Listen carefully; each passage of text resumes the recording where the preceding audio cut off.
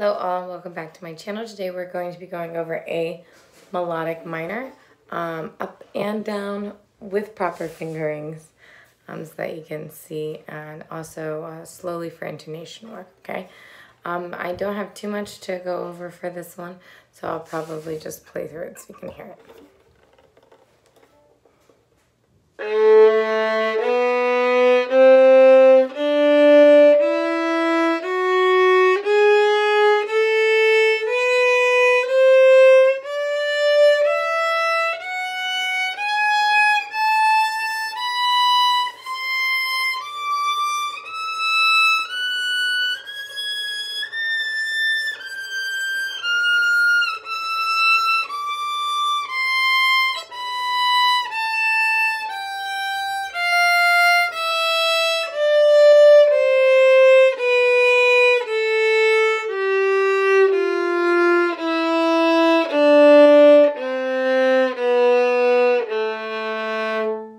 Good, and for this one I use the Flesch fingerings going down, which if you start from that top A,